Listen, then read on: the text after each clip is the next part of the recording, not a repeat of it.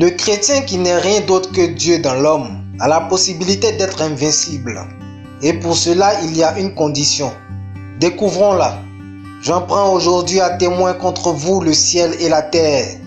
J'ai mis devant toi la vie et la mort, la bénédiction et la malédiction. Choisis la vie afin que tu vives, toi et ta postérité. Deutéronome chapitre 30 verset 19. Nous voyons ici que le premier pas est le choix, qui n'est rien d'autre que la manifestation de notre volonté. Voulons-nous vivre ou voulons-nous mourir? Préférons-nous la bénédiction à la malédiction ou le contraire? Pour celui qui choisit la vie et la bénédiction, voici ce qu'il a à faire. Croire en l'œuvre de la croix et confesser que Jésus est Dieu. Romains chapitre 10 verset 9. Les adolescents se fatiguent et se lassent et les jeunes hommes chancellent. Mais ceux qui se confient en l'Éternel renouvellent leurs forces. Ils prennent le vol comme les aigles.